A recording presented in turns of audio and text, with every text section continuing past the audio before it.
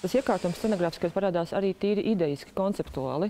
Un tā kā runa ir par pārmaiņu procesu, par transformāciju, tad pirmais, kas man nāca prātā, ir šis lielais labirints.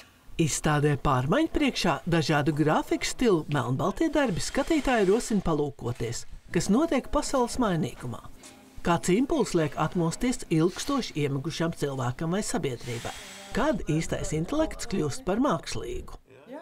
Grafiķi esot mistiķi un meistarīgi paredz iespējamos scenārijus. Ernests Kļaviņa darbs, viņš sadarbībā ar mākslīgo internetu ir radījis grāmatu vākus. Kā, tas ir viens no izstādes eksponātiem. Mākslinieki parasti bijuši tie, kuri provocē, uzdod šos jautājumus, varbūt tieši sniedz kaut kādu mierinājumu vai varbūt daļēji kaut kādu atbildi. Lielo pārmaiņu priekšā grafika nezudīs, jo īstus meistardarbus var radīt tikai cilvēks ar savām rokām. Apliecinājums Rīgas mākslas telpā topošā izstāde Startautiskais grafikas festivāls Printmaking In. Savus darbus izstādījuši Igaunijas, Lietuvas, Latvijas un Skandināvijas mākslinieki.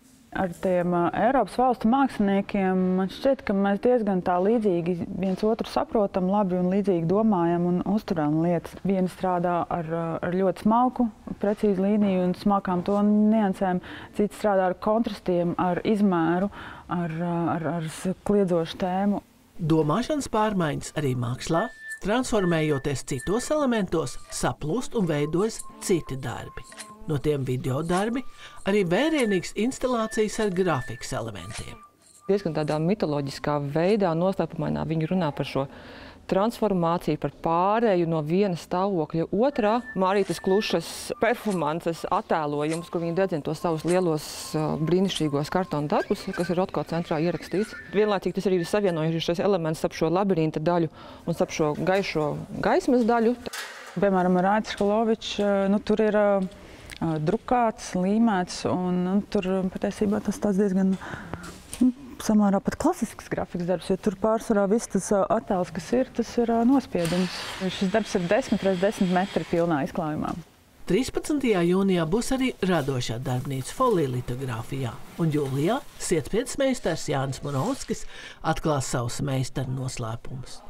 Murovskis ir plaši pasaulē pazīstams sietspiedas mākslinieks, kurš ir pazīstams ar saviem jaunievedumiem sietspiedas tehnikā. Tiek izmantot fotografiskie paņēmieni, lai radītu šo te mākslas darbu.